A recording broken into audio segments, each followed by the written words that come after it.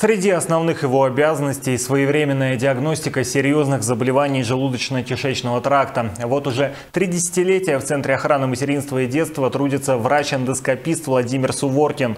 Кстати, он единственный детский специалист такого профиля не только в Магнитогорске, но и на всем юге Челябинской области. О рабочих буднях профессионала своего дела расскажем в сюжете. На странице журнала примерно 30 фамилий, 29-30 фамилий. Из них норма при осмотре у 4-5 человек.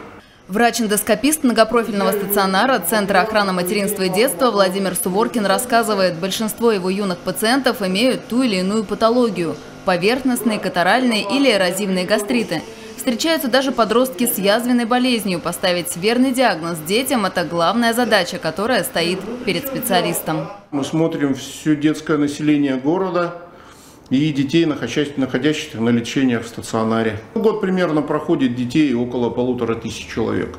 В эндоскопическом кабинете детям выполняют бронхо- и гастроскопию. Процедура не из приятных, однако самое главное, говорит доктор, найти для пациентов нужные слова. Говорить во время исследования кратко, по делу, но в то же время уметь успокоить. Конечно, это стресс для ребенка. Это гастроскопия, это инвазивный метод обследования, довольно-таки агрессивный. С ребенком нужно, конечно, входить в контакт.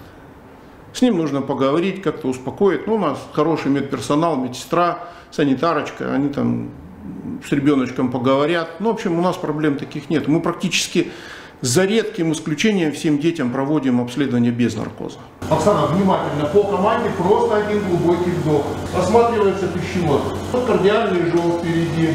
Владимир Суворкин – единственный детский врач-эндоскопист не только в Магнитогорске, но и на всем юге Челябинской области. В Центре охраны материнства и детства он трудится 30 лет.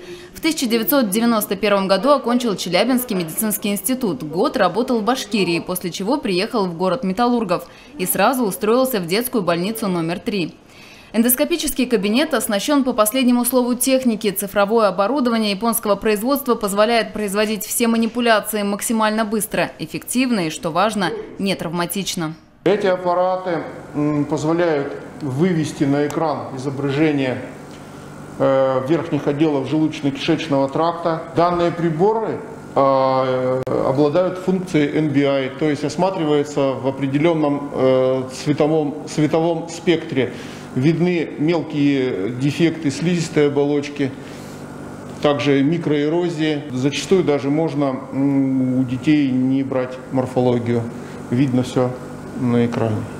Но не только такого рода исследования входят в круг обязанностей специалистов. В числе маленьких пациентов врача-эндоскописта есть особая категория – дети с инородными телами в организме.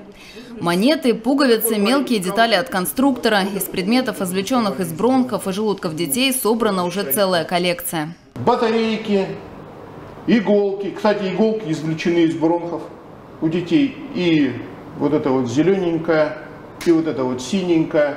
Вот эти предметы, наконечники от ручек. Особо опасны для детского организма плоские батарейки. Их тоже нередко проглатывают малыши.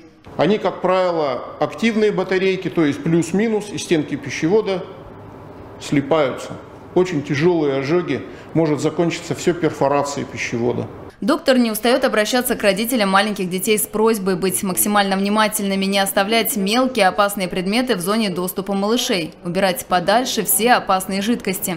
Среди планов специалиста на профессиональное будущее – дальнейшее техническое развитие. Он мечтает еще об одном видеоэндоскопе. Это необходимость, ведь после каждого осмотра оборудование необходимо обрабатывать как минимум час.